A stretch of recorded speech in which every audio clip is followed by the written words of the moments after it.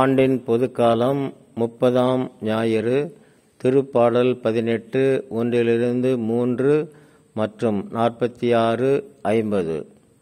என் ஆற்றலாகிய ஆண்டவரே உம்மிடம் நான் அன்பு கூர்கின்றேன்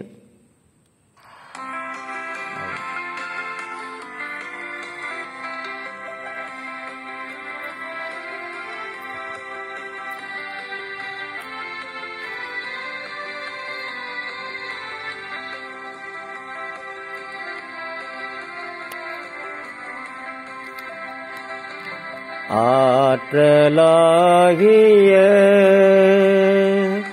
ஆண்டவரே உம்மிடம் நான் அன்பு கூர்கின்றே என் ஆற்றலாகிய ஆண்டவரே உம்மிடம் நான் அன்பு கூர்கின்றே.